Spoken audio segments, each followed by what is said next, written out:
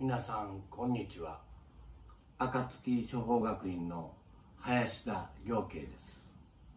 本日は「隅あり」という言葉を色紙に書きたいと思います。これはあの半紙に書いたんですけど「隅がある」という、まあ、隅があるというのはどういう意味かと言いますと墨を使って書を書いてその墨の効果が出た作品ということですね。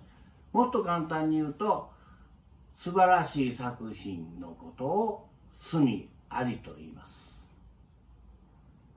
それでは今から墨あるという言葉を書きます。この時に皿の新品の筆を使います。その時に、えー、筆を試む。というのを書き、書いたりします。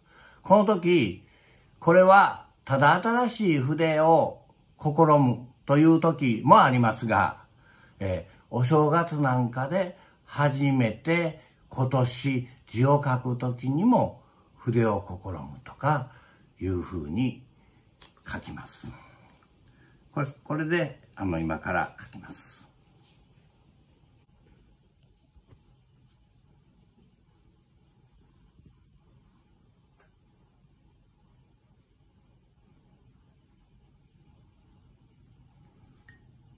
隅ありですね。これで、えー、右側に今年の年号を入れます。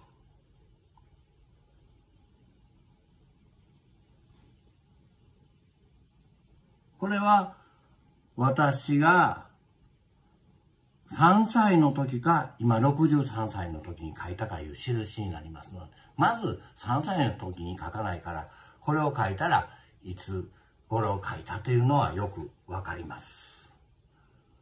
ちょっと早いんですけど、8月8日ぐらいになるんですけど、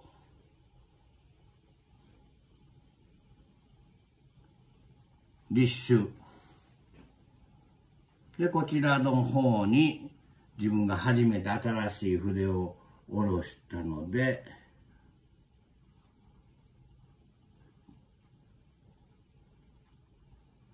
試む筆を試む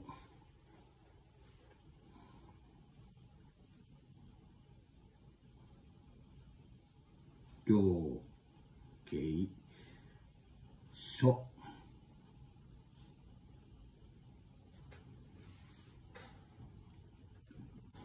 それでは最後にここで印を押します。